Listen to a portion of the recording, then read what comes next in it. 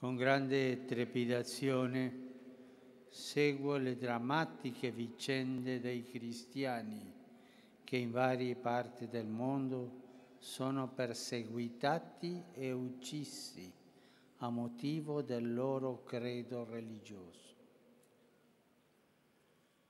Sento il bisogno di esprimere la mia profonda vicinanza spirituale alle comunità cristiane duramente colpite da un'assurda violenza che non accenna a fermarsi, mentre incoraggio i pastori e i fedeli tutti ad essere forti e saldi nella speranza.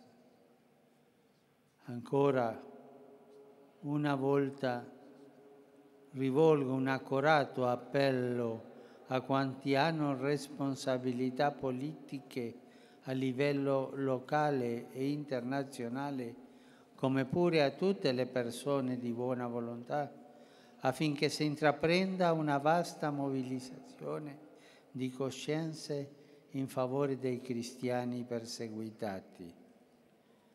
Essi hanno il diritto di, di ritrovare nei propri paesi sicurezza e serenità, professando liberamente la nostra fede.